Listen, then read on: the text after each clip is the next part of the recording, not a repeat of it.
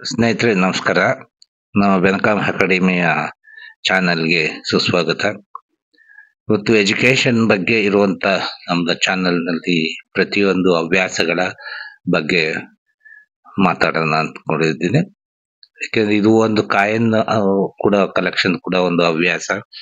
Note ಆಗ್ಬೋದು, coin ಆಗ್ಬೋದು stamps collections ಆಗ್ಬೋದು, ಇನ್ನೊಂದು ಮತ್ತೊಂದು ಕಲೆಕ್ಷನ್ಸ್ ಆಗ್ಬೋದು. ಚಿಕ್ಕ ವಯಸ್ಸಿಂದಾನೇ ಎಲ್ಲ ಮಾಡ್ಕೊಂಡಿರ್ತಾರೆ ಆದ್ರೆ ಅದ್ರ ಬಗ್ಗೆ ನಾಲೆಡ್ಜ್ ಇರೋದಿಲ್ಲ. ಹಾಗಾಗಿ ನಾವು ಸ್ವಲ್ಪ ನನಗೆ ಗೊತ್ತಿರುವಂತ ನಾಲೆಡ್ಜ್ ಅನ್ನ ಸ್ವಲ್ಪ ಶೇರ್ ಮಾಡ್ಕೋಬೇಕು ಅಂದ್ಕೊಂಡು ಈ ಒಂದು ವಿಡಿಯೋವನ್ನು ಮಾಡ್ತಾ ಇದ್ದೀನಿ. ಮೊನ್ನೆ ತಾನೇ ನಡೆದಂತ ಎಕ್ಸಿಬಿಷನ್ಗಳಲ್ಲಿ ನಾನು ವಿಡಿಯೋಗಳನ್ನು ಹಾಕಿದ್ದೀನಿ.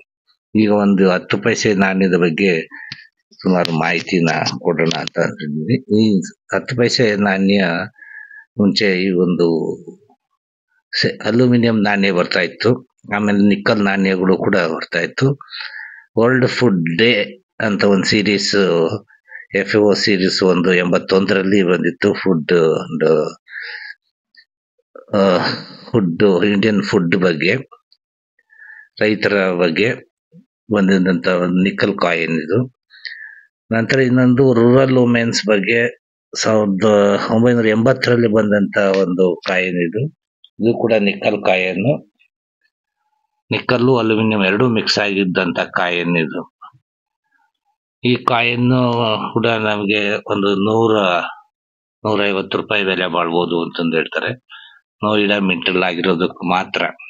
ಬಾಂಬೆ ಕಲ್ಕಟ್ಟ ಮತ್ತೆ ನೋಯಿಡಾ ಮಿಂಟಲ್ ಆಗಿರ್ತಕ್ಕಂಥದ್ದು. ನೋಯಿಡಾ ಮಿಂಟಲ್ ಆಗಿರೋದಕ್ಕೆ ಮಾತ್ರ ಸ್ವಲ್ಪ ಬೆಲೆ ಇದೆ ಅಂತಂದು ನಮ್ಮ ಇದರಲ್ಲಿ ನ್ಯೂರಿಸ್ಟಿಕ್ ಫೀಲ್ಡ್ ಅಲ್ಲಿ ಹೇಳ್ತಾರೆ. ನಂತರ ಇನ್ನೊಂದು ಬಂದಿದ್ದು ಹ್ಯಾಪಿ ಚೈಲ್ಡ್ ಇಂಟರ್ನ್ಯಾಷನಲ್ ಅಂತ ಹೇಳ್ಬಿಟ್ಟು international year of the child ಅಂತ ಸಾವಿರದ ಒಂಬೈನೂರ ಎಪ್ಪತ್ತೊಂಬತ್ತರಲ್ಲಿ ಬಂದಿದ್ದು. ಇದು ಒಂದು ಅದ್ರ ಲೋಗೋ ಇದೆ. ಎದುರುಗಡೆ ಪಕ್ಕ ಪಕ್ಕ ತೆನೆಗಳು ಇದೆ ಇದರಲ್ಲಿ. ಇದು ಕೂಡ ನಿಕ್ಕಲ್ ಕಾಯಿನ್ ಹದಿಮೂರು ಇದೊಂದು ಒಂದು ಹದಿಮೂರು ಗ್ರಾಮ್ ಅಂತಂದು ಹೇಳ್ತಾರೆ. ಇದಕ್ಕೂ ಕೂಡ ಒಂದು ಐವತ್ತು, ಅರವತ್ತು ರೂಪಾಯಿ ಬೆಲೆ ಇರಬಹುದು ಅಂತ ಹೇಳ್ತಾರೆ. ನಂತರ ಬಂದದ್ದು ವರ್ಲ್ಡ್ ಫುಡ್ ಡೇ ಅಂತಂದೇಬಿಟ್ಟು ಎಂಬತ್ತ ಎರಡರಲ್ಲಿ ಬಂದದ್ದು. ಇದು ಸ್ವಲ್ಪ ಡಿಫ್ರೆನ್ಸ್ ಆಗಿತ್ತು. ಆ ಕರುವನ್ನ ಸ್ವಲ್ಪ ದೊಡ್ಡದಾಗಿ ಮಾಡಿದ್ರು. ಹಂಗಾಗಿ ಇದು ಸ್ವಲ್ಪ ಒಂದು ಹಳೆ ಹತ್ತು ಸ್ವಲ್ಪ ಡಿಫ್ರೆಂಟ್ ಆಗಿ ಇತ್ತು. ಆ ನಂತರ ಬಂದದ್ದು ಫುಡ್ ಅಂಡ್ ಶೆಲ್ಟರ್ ಅಂತಂದೇಬಿಟ್ರೆ ಹೇಳ್ಬಿಟ್ರೆ ಮಕಾನ್ ಅಂತಂದೇಳ್ಬಿಟ್ಟು ಒಂದು ಸ್ಲೋಗನ್ ಇತ್ತಲ್ಲ, ಇಂದಿರಾ ಗಾಂಧಿ ಪೀರಿಯಡ್ ಅಲ್ಲಿ ಅವಾಗ ಬಂದಿದ್ದು ಎಪ್ಪತ್ತ ಎಂಟರಲ್ಲಿ ಬಂದಿದ್ದು ಒಂದು ಮನೆ ಇದೆ, ಒಂದು ತೆನೆ ಮತ್ತು ದಾರಿ ಇದೆ. ರೊಟ್ಟಿ ಕಪಡೆ ಅವ್ರ ಮಕಾನ್ ಅಂತಂದಿತ್ತಲ್ಲ ಅದು ಗರಿಬಿ ಹಟಾವೋ ಅನ್ನೋ ಒಂದು ಸ್ಲೋಗನ್ ಇಂದ ಆ ಟೈಮ್ನಲ್ಲಿ ಬಂದಂತ ಇದು ಕಾಯನ್ನು ಇದು ಕೂಡ ನಿಕ್ಕಲ್ಲು ಕಾಯನ್ನೇ ಆಗಿತ್ತು. ಇದು ಮತ್ತೆ ನೆಕ್ಸ್ಟ್ ಒಂದು ಕಾಯನ್ನು ಕೂಡ ಅದೇ ತರದ ಕಾಯಿನ್ಗಳು ಕೂಡ ಬರ್ತಾ ಹೋಗ್ತಾ ಇದ್ವು. ಈ ಎಪ್ಪತ್ತೆಂಟರಲ್ಲಿ ಬಂದಂತ ಕಾಯನ್ ಇದು. ಈ ಕಾಯನ್ನ ನೋಯ್ಡಾ ಮತ್ತೆ ಬಾಂಬೆ ಇದರಲ್ಲಿ ಕೂಡ ಯಾವುದು ಕಲ್ಕಟ್ಟಾದಲ್ಲೂ ಕೂಡ ಮಿಂಟ್ ಆಗಿರೋ ಕಾಯಿನ್ ಇದು. ಅದರಲ್ಲಿ ಕೆಲವು ನೋಯ್ಡಾಲ್ಲಿ ಮಿಂಟ್ ಆಗಿರುವಂತ ಕಾಯಿನ್ಗಳಿಗೆ ಒಂದ್ ಸ್ವಲ್ಪ ಬೆಲೆ ಮುನ್ನೂರು ನಾನ್ನೂರು ರೂಪಾಯಿ ಇರಬಹುದು ಅಂತ ಹೇಳ್ತಾರೆ. ಅದು ಕರೆಕ್ಟ್ ಆಗಿ ಡಿಸೈಡ್ ಮಾಡಲ್ಲ. ಕೆಲವು ಪುಸ್ತಕಗಳಲ್ಲೂ ಕೂಡ ಇದೆ ಅದು.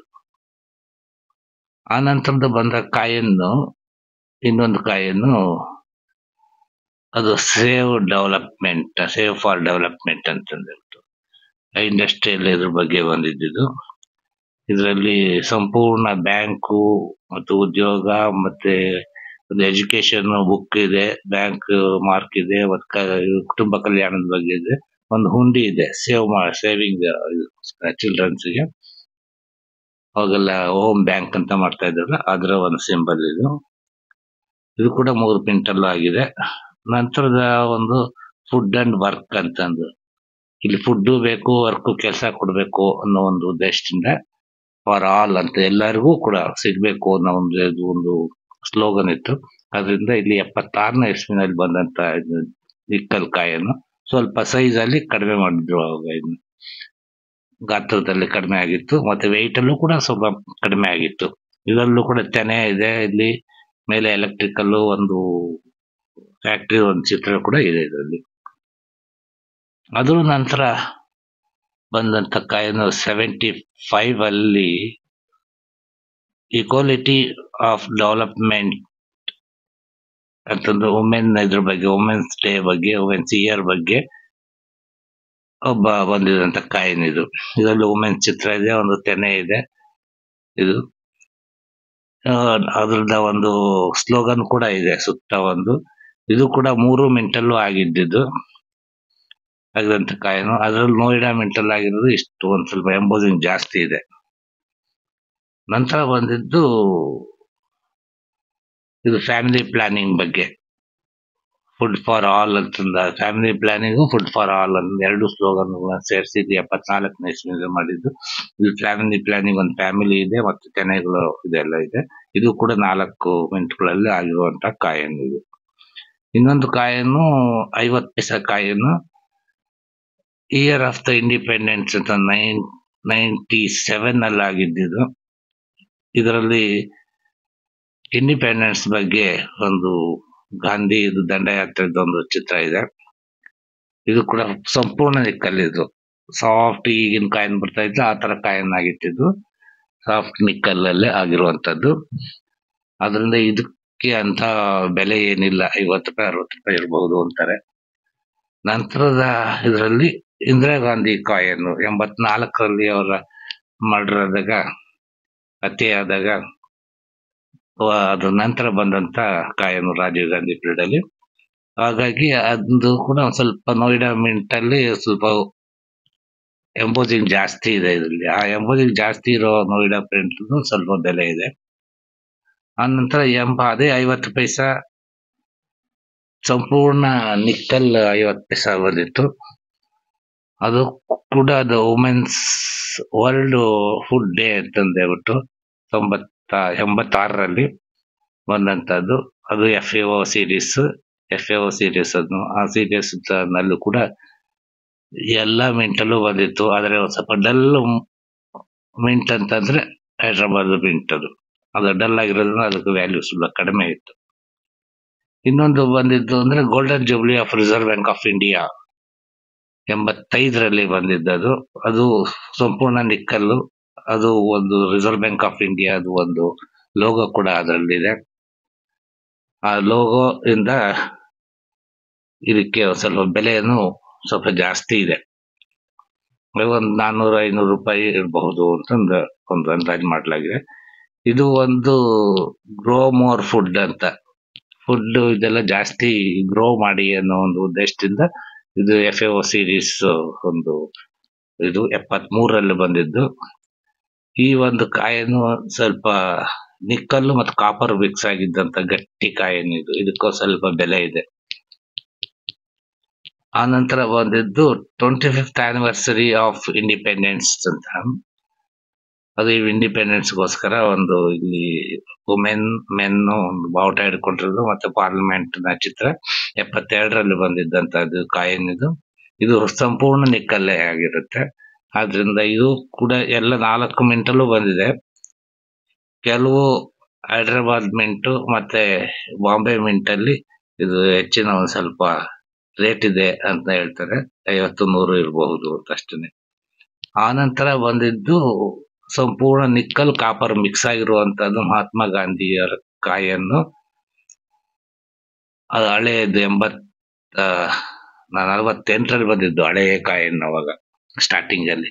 ತುಂಬಾ ಎಂಬೋಸಿಂಗ್ ಆಗಿದ್ದಂತ ಕಾಯಿನ್ ಚೆನ್ನಾಗಿತ್ತು. ಅದು ಆ ಕಾಯಿನ್ ಕೂಡ ಒಳ್ಳೆ ಒಂದು ಮೂರ್ ಸಾವಿರ, ನಾಲ್ಕು ಸಾವಿರ ರೇಟ್ ಇದೆ ಅಂತಂದು ಹೇಳ್ತಾರೆ. ಕೆಲವೊಂದು ನೋಯ್ಡಾಗೆ ಮತ್ತು ಬಾಂಬೆದು ಕಾಯಿನುಗಳಿಗೆ ಮಾತ್ರ. ಅದು ಅನ್ಕಂಡೀಷನಲ್ ಅನ್ಸರ್ಕ್ಯುಲೇಷನ್ ಕಾಯಿನ್ ಆಗಿದ್ರೆ ಮಾತ್ರ ಕೊಳೆ ಆಗಿರ್ಬಾರ್ದು ಸರ್ಕ್ಯುಲೇಷನ್ನಲ್ಲಿ ಇರಬಾರ್ದು ಅದು. ಅಂತ ಹೊಸ ಕಾಯಿನ್ ತರ ಇದ್ರೆ ಮಾತ್ರ ಅದಕ್ಕೆ ಒಂದು ಮೂರ್ ಸಾವಿರ, ನಾಲ್ಕು ಸಾವಿರ ಹತ್ತತ್ರ ಬೆಲೆ ಬರುತ್ತೆ ಅಂತಂದೇಳ್ಬಿಟ್ಟು ಹೇಳ್ತಾರೆ. ಇದಲ್ದೆ ಎಲ್ಲ ಕಾಯಿನು ಕೂಡ ಇದೇ ತರ ಬೆಲೆ ಬರ್ ಸಿಗುತ್ತೆ ಅಂತ ಹೇಳಕ್ಕಾಗಲ್ಲ. ಆಗಲ್ಲ. ಯಾಕೆಂದ್ರೆ ಅನ್ಸರ್ಕ್ಯುಲೇಷನ್ ಆಗಿ ಸರ್ಕ್ಯುಲೇಷನ್ನಲ್ಲಿ ಇರಬೇಕು. ಹಾಗಾದಾಗ ಮಾತ್ರ ಅದಕ್ಕೆ ಬೆಲೆ ಸಿಗ್ತವೆ ಎಲ್ಲ ಕಾಯಿನ್ಗಳಿಗೆ. ಸರ್ಕ್ಯುಲೇಷನ್ ಇಲ್ಲದೆ ಇರುವ ಕಾಯಿನ್ಗಳಿಗೆ. ಹಾಗೆ ಎಲ್ಲ ಇವರು ಎಲ್ಲದಕ್ಕೋಸ್ಕರ ಕೂಡ ಮೆಸೇಜ್ ಮಾಡ್ತಾರೆ ಎಲ್ಲೆಲ್ಲಿ ಎಕ್ಸಿಬಿಷನ್ ಮತ್ತೆ ನಡೆಯುತ್ತೆ ಅನ್ನೋದನ್ನ. ಹಾಗಾಗಿ ಇದನ್ನ ಹಳೆಯದು ಈ ವರ್ಷ ನಡೆದಿದಂತ ಎಕ್ಸಿಬಿಷನ್ ಲಿಸ್ಟ್ ಎಲ್ಲ ಕೊಡ್ತಾ ಇದ್ದೀನಿ. ಕೊಚ್ಚಿಯಲ್ಲಿ ಊಟಿಯಲ್ಲಿ ಆ, ಕೋಲ್ಕತ್ತಾದಲ್ಲಿ ಎಲ್ಲ ಈಗ ಫೆಬ್ರವರಿ ಟೈಮ್ನಲ್ಲಿ ನಡೆಯುತ್ತೆ. ಚೆನ್ನೈಯಲ್ಲೂ ನಡೀತು ಬೆಂಗಳೂರಿನಲ್ಲೂ ನಡೀತು ಫೆಬ್ರವರಿನಲ್ಲಿ ಇಪ್ಪತ್ತೈದು ಇಪ್ಪತ್ತಾರು ಇಪ್ಪತ್ತೇಳು. ಕೋಟಾದಲ್ಲಿ ರಾಜಸ್ಥಾನ ಕೋಟಾ ಅಲ್ಲಿ ಕೂಡ ನಡೀತಾ ಇತ್ತು. ಪ್ರತಿ ಸಾರಿ ಫೆಬ್ರವರಿ ಮೊದಲನೇ ವಾರದಲ್ಲಿ ನಡೆಯುತ್ತೆ. ಹಾಗಾಗಿ ನೀವು ಏನಾದರೂ ಸೇಲ್ ಮಾಡಬೇಕು ಅಂತ ಅನ್ನೋ ಒಂದು ಉದ್ದೇಶ ಇದ್ರೆ ಅಂತ ಒಂದು ಎಕ್ಸಿಬಿಷನ್ಗಳಲ್ಲಿ ಅಲ್ಲಿ ಬೈಯರ್ಸ್ನ ಕಾಂಟ್ಯಾಕ್ಟ್ ಮಾಡಿ ಅಲ್ಲಿ ಮಾತ್ರ ಸೇಲ್ ಮಾಡ್ಬೋದು. ಯಾವುದೇ ಒಂದು ಆನ್ಲೈನ್ ಸೇಲ್ ಇದರಲ್ಲಿ ಹೋಗಿ ಸಿಕ್ಕಾಕೊಂಡು ಒದ್ದಾಡಬೇಡಿ. ಆನ್ಲೈನ್ನಲ್ಲಿ ಸೇಲ್ ಮಾಡೋದಕ್ಕೆ ಯಾವ ಗೌರ್ಮೆಂಟ್ ಆಗಲಿ, ರಿಸರ್ವ್ ಬ್ಯಾಂಕ್ ಆಗಲಿ ಪರ್ಮಿಷನ್ ಕೊಟ್ಟಿಲ್ಲ. ಆದ್ರಿಂದ ಅದಕ್ಕೆ ಎಷ್ಟು ಬೆಲೆ ಬಾಳ್ತವೆ ಅನ್ನೋದನ್ನ ಮತ್ತೆ ತಿಳ್ಕೊಳ್ಳಿ. ಹೆಚ್ಚಾಗಿ ಬೆಲೆ ಬಾಳೋದು ನೋಡಿ ಇಲ್ಲಿ ಒಂದು ಕಾಮರಾಜ್ದು ಒಂದು ಎಪ್ಪತ್ತೈದನೇ ಇಸ್ವಿದು ಒಂದು ಐದು ರೂಪಾಯಿ ಕಾಯಿನ್ ಇದೆ. ಅದು ಹೆಚ್ಚಾಗಿ ಬೆಲೆ ಬಾಳುತ್ತೆ ಅಂತಂದು ಹೇಳ್ತಾರೆ. ಆದರೆ ಅದು ನಮ್ಮ ಸರ್ಕ್ಯುಲೇಷನ್ನಲ್ಲಿ ಸಿಕ್ಕೋದಿಲ್ಲ. ಆದ್ದರಿಂದ ಅಂಥವನ್ನೆಲ್ಲ ಉದ್ಕೋದಕ್ಕೆ ಹೋಗ್ಬೇಡಿ. ಸಿಕ್ಕರೆ ಪುಣ್ಯ. ಇಲ್ಲದೆ ಹೋದ್ರೆ ಸಿಗದೆ ಇದ್ರೆ ಏನು ಮಾಡಕ್ಕಾಗಲ್ಲ.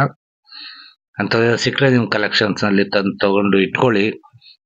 ಯಾವ್ದಾದ್ರು ಒಂದ್ ಟೈಮ್ನಲ್ಲಿ ನಿಮ್ಗೆ ಗ್ರೋ ಆಗುತ್ತೆ. ಒಂದ್ಸತಿ ಸೇಲ್ ಆದ್ರೆ ಅದು ನಿಮ್ಗೆ ಒಳ್ಳೆ ದುಡ್ಡನ್ನ ತಂದು ಕೊಡುತ್ತೆ ಅಂತ ಹೇಳ್ತಾ ಈ ವಿಡಿಯೋ ಇಲ್ಲಿ ಕೆಂಪೇಗೌಡ ಸರ್ಕಲ್ ಅಲ್ಲಿ ಗೀತಾ ಥಿಯೇಟರ್ ಹತ್ರ ಒಬ್ರು ಇದ್ದಾರೆ ಗೀತಾ ಕಾಂಪ್ಲೆಕ್ಸ್ ಅಲ್ಲಿ. ಆ ತರ ಒಂದು ಮುರುಗನ್ ಆರ್ಟ್ಸ್ ಅಂತ ಇದೆ. ಮಧುರನ್ ಆರ್ಟ್ಸ್ ಅಂತ ಇದೆ. ಎಕ್ಸಿಬಿಷನ್ ಮಾಡಿದ್ರಲ್ಲ ಅವರು ಕೂಡ ಅವ್ರನ್ನೆಲ್ಲ ಕಾಂಟ್ಯಾಕ್ಟ್ ಮಾಡಿದ್ರೆ ನೀವು ಎಕ್ಸಿಬಿಷನ್ ಅಲ್ಲಿ ಇದು ಮಾಡಬಹುದು ಮಾರೋದಕ್ಕೆ ಇದಕ್ಕೆ ಸಾಧ್ಯ